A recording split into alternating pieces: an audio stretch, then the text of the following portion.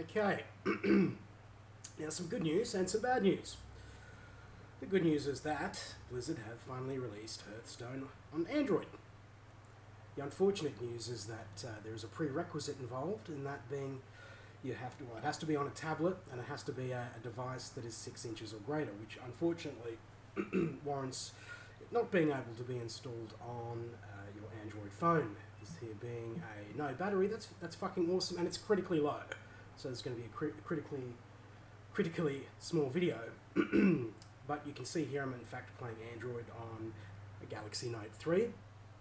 This is not remotely streamed or anything like that. It's it's on the device, and it's relatively easy to do if your device is rooted.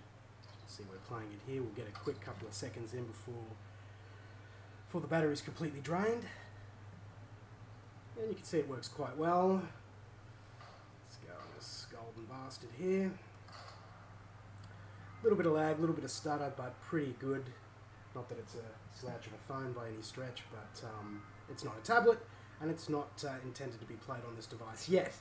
They are in fact releasing it for phones, I believe, next year. I don't know when, probably early next year. but uh, if you'd like to check the description on the video, you can see how I got this to work.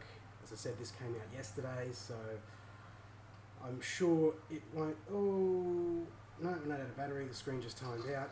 It won't be long until um,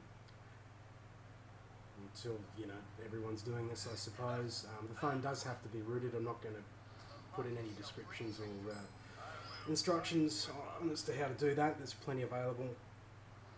You fuck off. You fuck off. Yeah, works great. So um, you can uh, you can play it on the toilet as you could before, but uh, you know you've got one hand free now, which is which is fantastic.